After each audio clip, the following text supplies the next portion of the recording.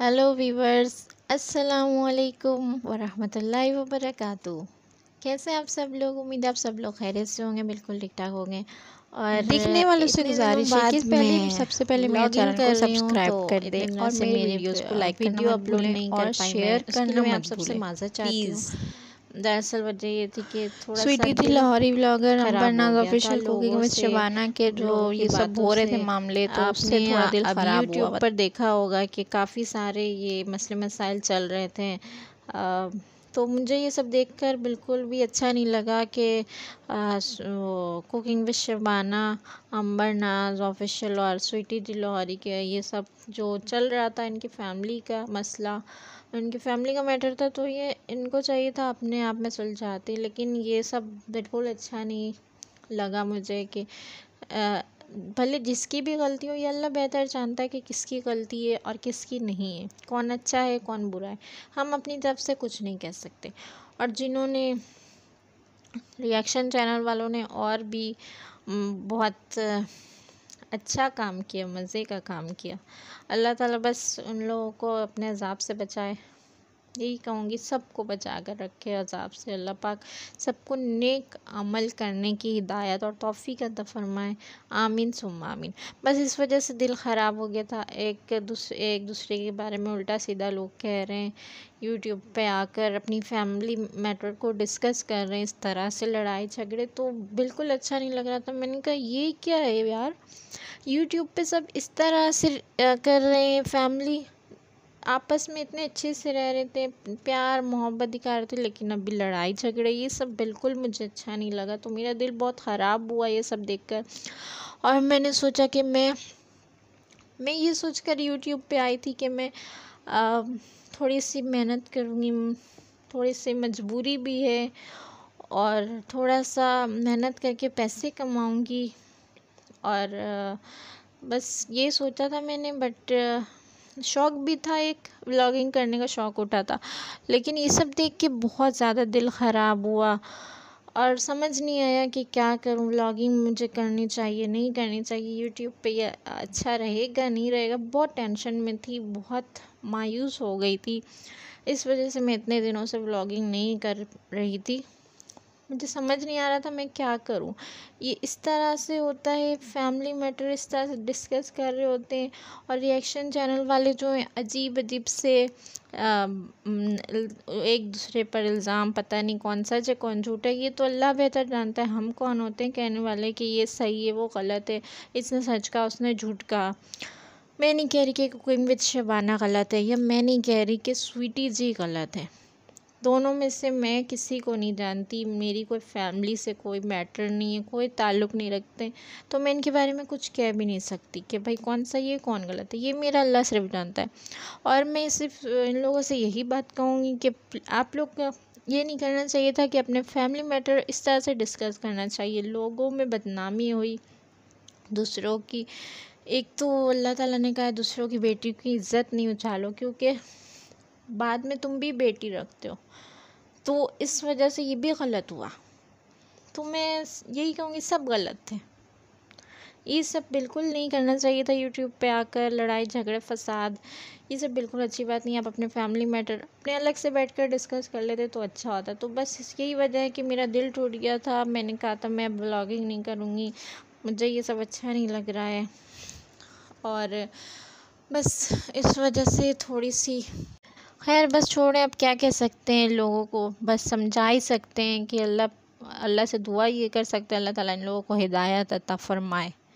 और अल्लाह पाक हमें बुरे लोगों से बचा कर रखे। बस यही दुआ कर सकते हैं। और आज इतने दिनों बाद मैं व्लॉगिंग कर रही हूँ। आप सबसे उम्मीद है कि आप सब मेरे वीडियो को लाइक करेंगे और मेरे चैनल को सब्सक्राइब ज़रूर करेंगे, क्योंकि आप लोगों से मुझे हौसला मिलता है। आप लोग मुझे सब्सक्राइब करेंगे तो मुझे हौसला मिलेगा तो फिर मैं आगे और वीडियोस बनाकर और व्लॉगिंग कर सकूँगी और आप लोगों से वीडियो अच्छे अच्छे शेयर कर सकूँगी, अपनी रूटीन शेयर कर सकूँगी। तो इधर, पत, आप देख रहे हैं कि मैं सैंडविच बना रही थी, मैंने सोचा शाम का वक्त है, चलो कुछ खाने का दिल कर रहा था, बच्चों के लिए भी चलो सैंडविच बना लेते तो इधर केचप मंगाया तो अजीब केचप का हाल। केचप लग रहा था सॉस है, कोई चटनी टाइप पतली पतली मुझे बिल्कुल पसंद नहीं आया, मैंने बस ऐसे ही बना दिया केचप का जायका भी अच्छा नहीं था। आजकल इतनी ज़्यादा, क्या बोलूँ बस, गाली नहीं देना चाहती बस। ये कि हाँ एक, जो कहते हैं ना आराम खोरी एक वर्ड है। बस आजकल यही हुआ हुआ है। अपना नफ़ा देखते हैं, दूसरों का नुकसान कर देते हैं। तो बस कैचअप वगैरह मंगाया। मैंने कहा, चलो, अभी कहाँ जाऊँगी? लाने, चलो, दस रुपये का कैचअप मंगा लेती हूँ, दस के साशे तो मैंने मंगाया तो इतना अजीब तरह का निकला। मुझे तो खाने का दिल भी नहीं कर रहा था। और इधर मैंने ऐसे ही कबाब फ्राई कर लिए थे, अंडा फ्राई किया था और खीरा, प्याज, ये सब कटिंग कर लिया था और मैंने सबको कैचअप मैनीस से मिक्स करके उसको डबल रोटी पर लगा कर कैचअप लगा कर ऊपर से वो लगा कर कबाब रख दिया, प्याज रख दिया और उसको हल्का सा सेक कर फिर हमने चाय पी, कबाब खाए।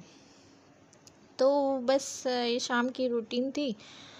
दिल चाह रहा था तो कब, इसी तरह सैंडविच बना लिया और फिर रात को खाना वगैरह बनाकर फारिग हुई थी तो फिर कपड़े, अलमारी खोली तो देखा कि कपड़े बिखरे पड़े हैं। ये एक्चुअली कुछ दिन पहले का व्लॉग था तो अलमारी सेटिंग कर रही थी। कपड़े वगैरह भी धोने थे, बहुत सारे मशीन लगाने थे। मशीन लगे हुए थे तो कपड़े धो रही थी। इधर कपड़े वगैरह सजाई तो बहुत सारे कपड़े हो गए थे। तो हस्बैंड की अलमारी तो मैंने रमज़ान से पहले सेटिंग की थी। जब अभी मैंने देखा तो बहुत बिखरी पड़ी तो मैंने काफ़ी दिन से टाल रही थी, छोड़ो, अभी थोड़े दिन बात कर लूँगी। क्योंकि मुझे टाइम बिल्कुल नहीं मिल पा रहा था। बच्चों का स्कूल शुरू हो गया है। बच्चों के सुबह सात बजे उठना पड़ता है। स्कूल भेजो, फिर उसके बाद हस्बैंड को ऑफ़िस भेजो। नाश्ता बना कर दो लंच पैक करके दो तो बस इसी में टाइम गुजर जाता। फिर उसके बाद मैं नाश्ता करके थोड़ा सा सो जाती हूँ। क्योंकि उस वक्त कोई काम नहीं होता तो सो जाती हूँ। फिर फिर अपने बच्चे स्कूल से आते हैं तो फिर उसके बाद उनको नाश्ता वगैरह, खाना वगैरह की तैयारी, नहलाना धुलाना, सफ़ाई सुथराई घर की। फिर ये रूटीन बस चल रही होती है कि दोपहर में खाना बनाना, फिर रात की तैयारी, फिर शाम के नाश्ते की तैयारी। इस तरह से समझ लें किचन में टाइम गुजर रहा होता है। सुबह थोड़ा सा वक्त होता है मेरे पास आराम करने का तो मैं सुबह थोड़ा सा अपनी नींद पूरी कर लेती हूँ, क्योंकि रात में मुझे बिल्कुल टाइम नहीं मिल पाता है। रात में एक तो नींद नहीं आ रही होती तो मैं सोचती हूँ कि चलो ब्लॉगिंग कर वो सॉरी व्लॉग जो मैंने बनाया था, उसको मैं एडिटिंग कर लूँ, अपनी वॉइस ओवर कर लूँ। तो बस यही कर रही होती हूँ, रात में बैठ कर और फिर रात में नींद नहीं आती, यही सब कर रही होती हूँ। और सुबह फिर दस बजे के बाद फिर अपनी नींद पूरी कर रही होती है, एक दो घंटे की नींद पूरी हो जाती है, माशाल्लाह से। और फिर मैं सुबह की नींद पूरी होना आई मीन टू से रात में अगर ये नींद पूरी हो जाए ना तो मैं सुबह एक्टिव रहती हूँ। सुबह का नाश्ता, मुझे अच्छा नाश्ता चाहिए होता है मतलब कि पराठे के साथ अंडा होना चाहिए। या कोई हल्का सा सालन हो जाए या सैलड बना लेती हूँ, खीरा और प्याज काट कर उसमें थोड़ा सा अचार का मसाला मिला लेती हूँ या फिर ऐसे हल्का सा नमक छिड़क के उसको सैलड बनाकर मैं रोटी से खाती हूँ तो बहुत मज़े का लगता है और इससे खैर मुझे तो डाइटिंग करने की ज़रूरत नहीं अल्लाह का शुक्र है इसलिए मैंने स्मार्ट, बट मैं तो थोड़ा सा, थोड़ी सी मोटी होनी चाह रही हूँ, लेकिन क्या करूँ? मुझे सैलड पसंद है तो मैं सुबह नाश्ते में सैलड रोटी खाती हूँ। और जिनको जिनको वज़न कम करना है, उनसे मैं यही कहूँगी कि आप सुबह नाश्ते में भले पराठे खाएँ, इतना ज़्यादा घी मत डालें, कम घी डालें। और सैलड बना लें, प्याज और खीरा काट के, उसमें एक हरी मिर्च बारीक काट लें और उसमें नमक छिड़क के रोटी से खाएँ तो आप उसमें अगर चाहें तो अचार का थोड़ा सा मसाला शामिल कर दें, बिल्कुल एक चुटकी। ज़्यादा नहीं। और उसको फिर रोटी से खाकर देखिए, इतने मज़े का जो लग रहा होता है, बस। फिर तो आपको दिल करेगा, रोज़ आना, आप यही नाश्ता करें। खैर, मैं तो शादी से पहले यही नाश्ता कर रही होती हूँ। सैलड मुझे बहुत पसंद था। अंडा पराठा या सैलड खा रही होती थी रोटी के साथ। तो एक स्टोरी है सैलड की, मैं, शादी से पहले की। तो मैं किसी और दिन आपसे शेयर ज़रूर करूँगी, इंशाल्लाह। अभी फिर बस ये नाश्ता मुझे ज़रूरी होता है सुबह के अंडा पराठा या तो सैलड बना लूँ, पराठे के साथ खा लूँ और एक कप चाय, कड़क से स्ट्रॉन्ग चाय मुझे चाहिए होती है। ये हो गया तो फिर मैं दिन भर फ्रेश और एक्टिव रहती हूँ।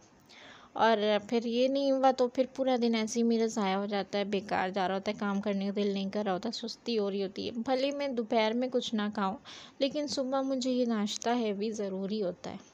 क्योंकि दोपहर में, फिर मैं इसी की वजह से एक्टिव रहती हूँ, अपना काम पूरा कर पाती हूँ।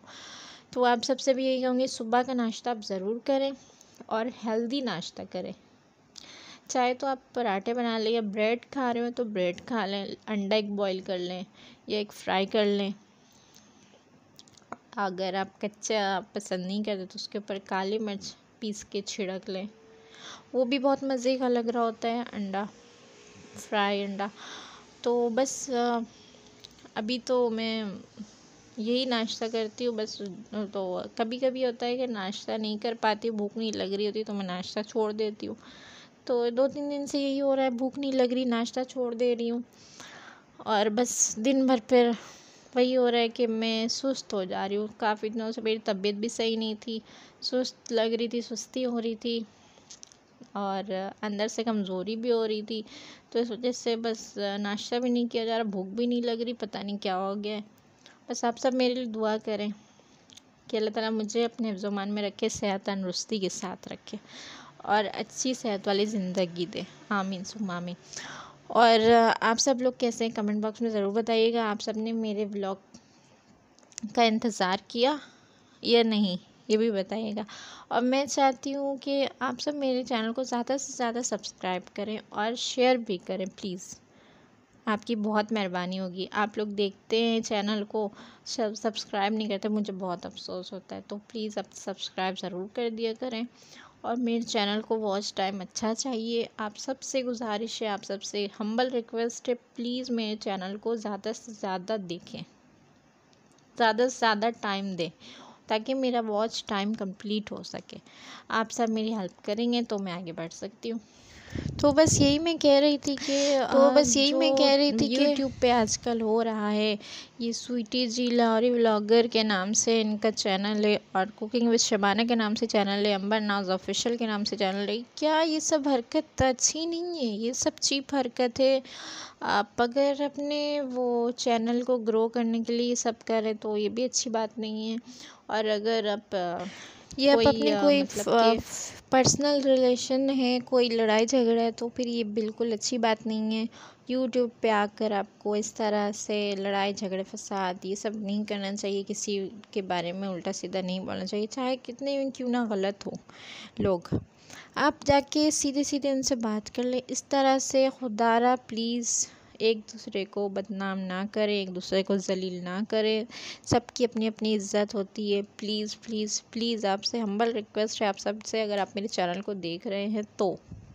प्लीज़ आप लोग इस तरह से ना करें यूट्यूब को गंदा ना करें। खैर अल्लाह ताला और बस ईमान सलामत रखे। कि और मैं बस यही कहना चाहूँगी मेरे चैनल अगर आपको अच्छा लगता है तो प्लीज़ ज़रूर वॉच टाइम मेरा पूरा कर दें और मुझे थाउज़ेंड सब्सक्राइबर चाहिए। प्लीज़ आप मेरे चैनल को सब्सक्राइब ज़रूर करें और कमेंट करना मत भूलें और मेरे चैनल को शेयर ज़रूर करें और वीडियो को लाइक करना मत भूलें।